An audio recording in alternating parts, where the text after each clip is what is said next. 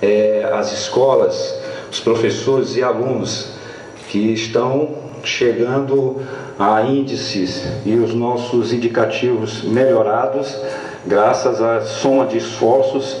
É interessante a gente sempre lembrar que como aqui no SIM, sim, é, a, a, o seminário de integração e de motivação que tivemos hoje é sinal de que a gente está preocupado em valorizar os nossos profissionais de educação como um todo, em todos os setores.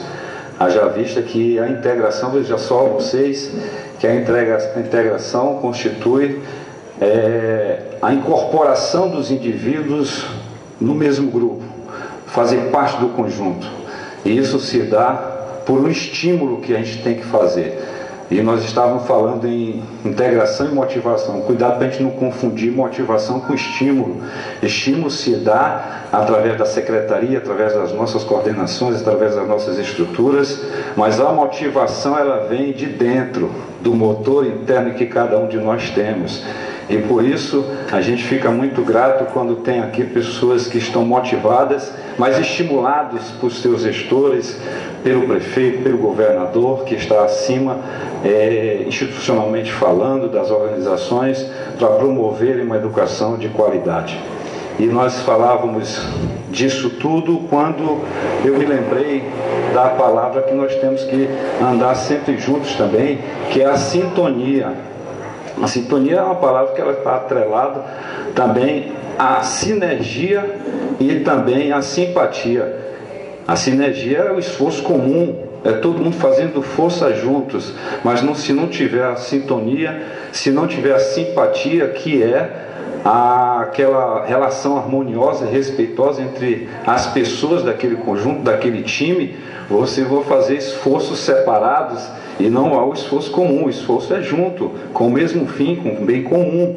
Que se fazer esforços diversos, vai haver fragmentação desse esforço se não chega aos nossos objetivos e nós não atingimos as nossas metas. Por isso, eu estou aqui para agradecer a, a gentileza do convite também, mas para parabenizar a todos que chegaram até aqui e que tiveram os seus índices aprovados, vão ser premiados daqui a pouco, através da, é, da coordenação aqui do evento.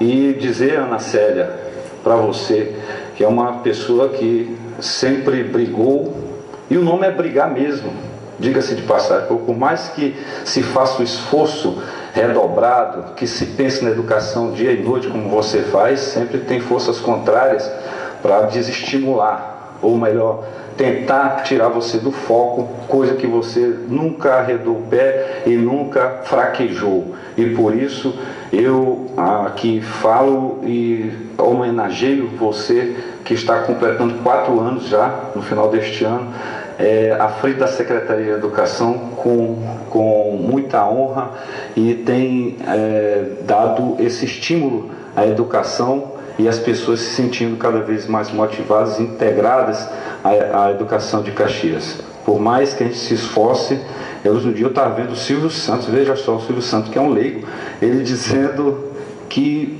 o prefeito, a secretária de educação, ela sai para desenrolar dez coisas, dez, tomar dez decisões durante o, o dia, ela vai acertar oito e vai errar apenas duas.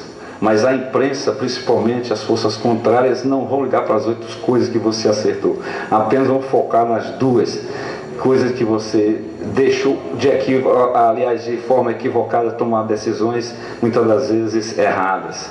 E por isso mesmo, quem tem um motivo como você tem de a cada dia pensar na educação como bem maior que nós temos, um grande patrimônio que nós temos hoje é, na nossa cidade, é motivo de muito orgulho para mim, que sou seu amigo particular.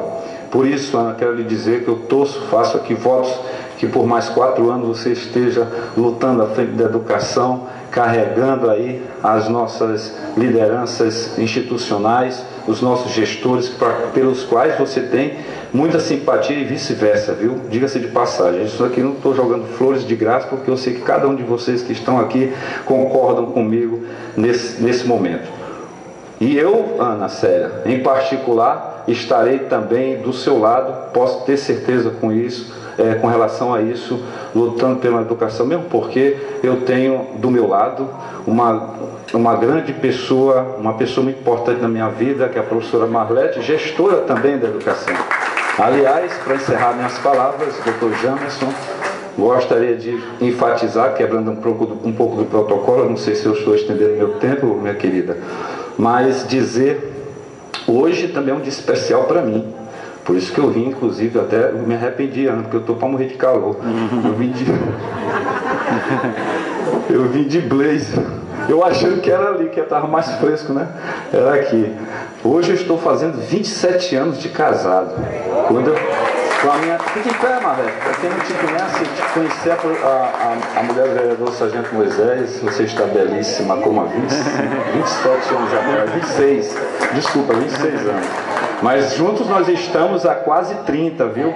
Quando eu cheguei, Ana, assim como você, quando conheceu o Orisvaldo, você já estava casada com a educação e a Marlete também. Já, ela já está no seu segundo casamento, que sou eu. Que é o primeiro é a educação. E nós constituímos uma família belíssima. Daqui a pouco vou levá-la para jantar. Entendam bem, jantar com ela. É um dia especial. Eu, gosto, eu fiz essa, essa parte aqui apenas para homenagear uma professora também que há mais de 26 anos, que nós estamos há 26, mas você já era professora há mais de 26 anos e está na labuta diária com a educação. Eu, eu convivo com isso todos os dias. Me preocupo igualmente com o desenvolvimento da educação por conta disso também. É uma grande incentivadora para mim nesse aspecto.